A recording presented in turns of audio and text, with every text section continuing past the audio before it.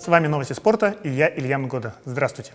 Спонсор программы – Центр художественной и эстетической гимнастики «Феникс». Это новая современная спортивная база. Приглашаются девочки и мальчики с двух с половиной лет и старше. Тренировать их будут мастера спорта России, призеры всероссийских и международных соревнований.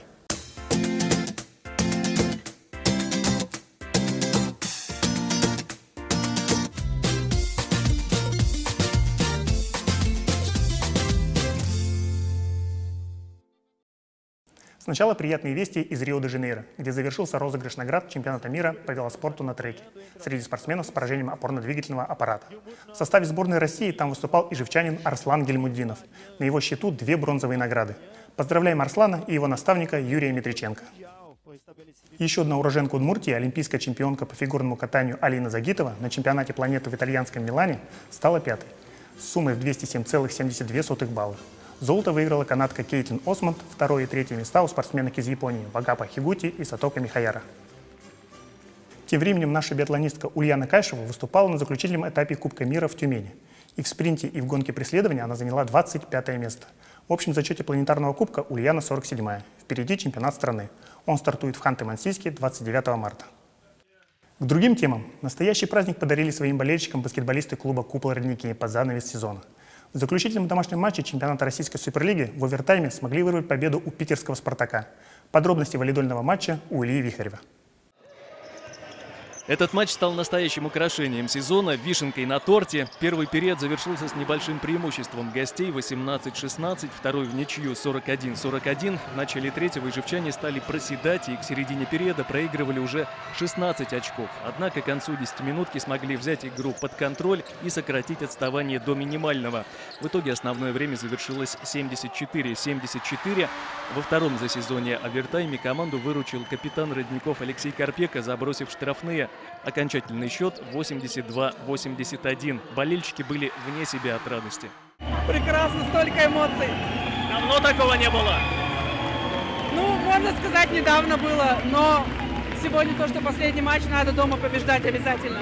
Валидольный был матч, валидольный, но мы рады. У нас права на ошибку уже не было, и последняя игра сезона у нас была домашняя. Надо было и всем показать то, что я могу, и зрителям показать то, что они зря и в нас, и в меня верили ну, как говорится, брат. Yeah!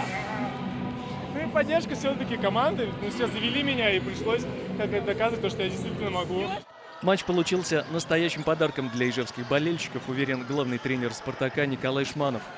Сложно давать комментарий, когда ты в овертайме уступаешь одно очко. Ну, хорошая игра. Я думаю, что баскетбол существует для зрителей. Я думаю, что зрители должны быть благодарны двум командам, которые сыграли такой триллер.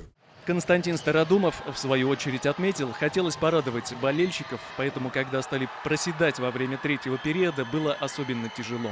Когда уже мы довели до овертайма после этого, мне было как-то морально полегче, потому что это чистая лотерея. Вот то, что произошло, это на самом деле это лотерея, потому что не попади Карпека, это э, отсчитай эти два очка. Ну, все, и уплыли.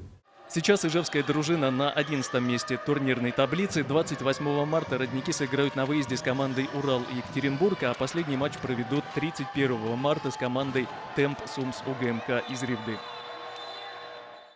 И в продолжение темы.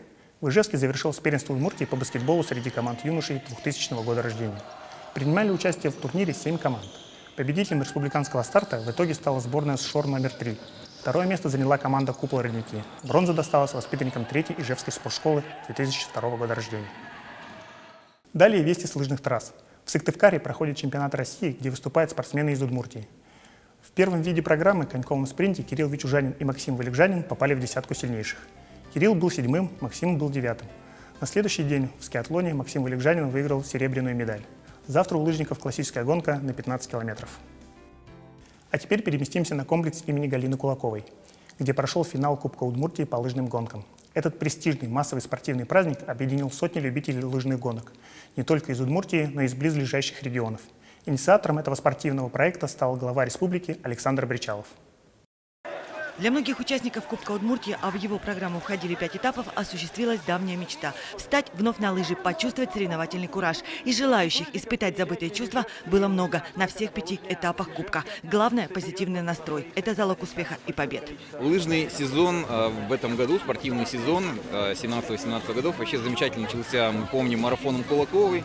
И заканчивается соревнованиями Тихонова. Это вообще знаковое событие, когда от четырехкратной олимпийской чемпионки передается эстафета, как раньше было с лыжами, двукратной олимпийской чемпионки, и многие любители участвуют в этом проекте на протяжении всего сезона. Это и лыжня России, это и соревнования на призы Аспек, это и любительские старты, которые впервые прошли в Удмуртии в начале марта, это и замечательные соревнования в Волжском районе.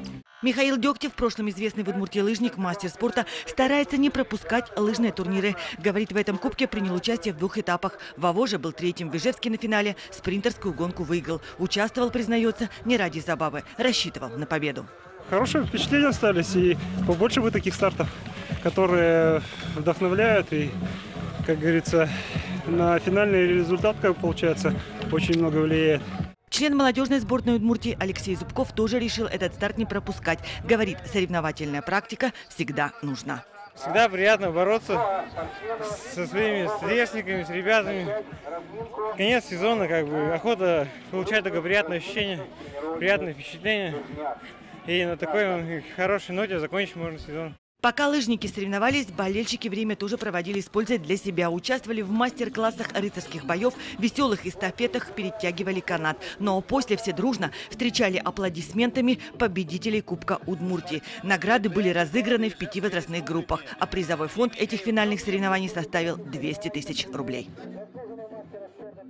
На этом я с вами прощаюсь. До свидания.